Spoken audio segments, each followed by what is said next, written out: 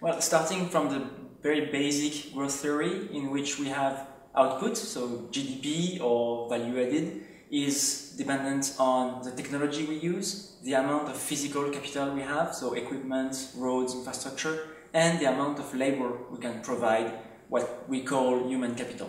This is a basic growth theory. When we want to add the environment into this, and it started in the 70s, people started to consider the environment as an additional input in the production factor. So we would have technologies, physical capital, labor, and the environment. For instance, the soil and the water that we use for agricultural production. This is a very basic way of introducing the environment in growth theory. In this traditional way, we assume that if we introduce a policy to improve the environment, uh, it will increase production, possibly, but it will not affect human capital, uh, physical capital, or the technology, or even the efficiency of the entire process. What we add when we think green growth is to assume that when we introduce environmental policies, we can make them in a way that not only improve the environment, but also improve something else. It can be an improvement in physical capital. For instance, we build uh, railways, so it, it's a new physical capital, and because it reduces uh, congestion, it's also good for the environment.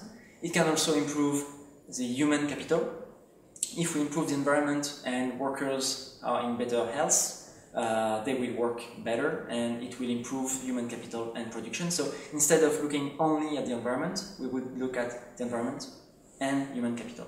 Same thing with technologies. When we introduce environmental policies, it will have an impact on all firms and all producers. They will try to find ways to cope with these environmental policies. They will create new technologies, innovation, and possibly this innovation will not only be good for the environment, but also good for productivity and, and create additional wealth. An example is uh, photovoltaic uh, solar panels.